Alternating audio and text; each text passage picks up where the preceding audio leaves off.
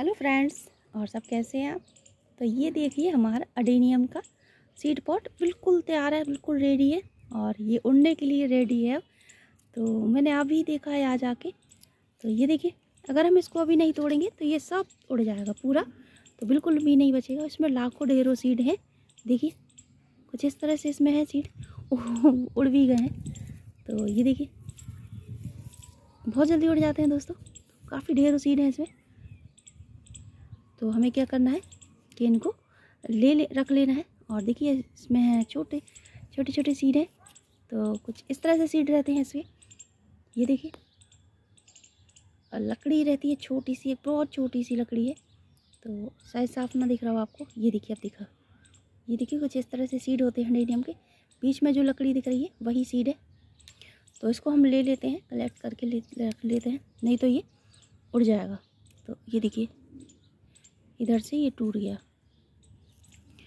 तो यहाँ पे हम फंगी साइड लगा देंगे, नहीं तो ये हमारा अडेनियम ख़राब होने लगेगा। और ये वही अडेनियम है जो इसको मैंने पूरा कट कर दिया था। वो अब देखिए इसकी ग्रोथ कितनी अच्छी होने लगी है, शुरू हो गई है। और यहाँ पे थोड़ा सा फंगी का लगाना पड़ेगा, पाउडर, नहीं तो ये यहाँ से ख़राब होने लगेगा। तो ये देखिए, कुछ इस तरह से है। और ये हमारा सीड पॉट तैयार है, बिल्कुल से रेडी है। तो आप इसको निकाल के रख लीजिए और अभी ग्रो कर दीजिए दोस्तों। अभी ग्रो नहीं करेंगे दोस्तों तो ये थोड़ा अच्छा रिज़ल्ट ना देगा। नहीं देता है। और जब आप आल के हल्के इसको ग्रो करते हैं तो बहुत अच्छा रिज़ल्ट मिलता है अडेनियम का। थोड़ा सा धुंधला दिख रहा है। शायद आपको ना दिखे दोस्तों, क्योंकि धूप हो रही है।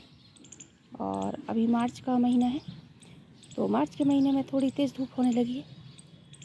तो ये इस तरह से है कुछ। ये देखिए। और मैंने इसमें धागा लगा दिया था।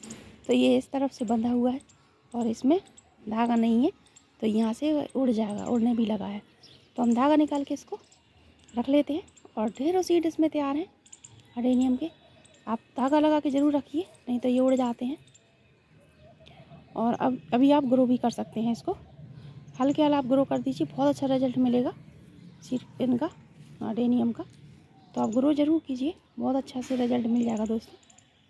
और अडेनियम के काफ़ी प्लांट हैं मेरे पास हो गए हैं, सीड से ही ग्रो किए थे। तो आप भी ग्रो कर सकते हैं। और देखिए, इसका सीड पॉट भी तैयार है।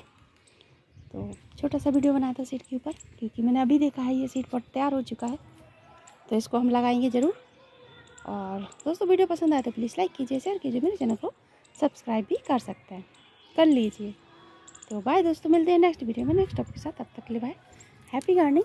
और ये खूबसूरत सा डहलिया का फ्लावर।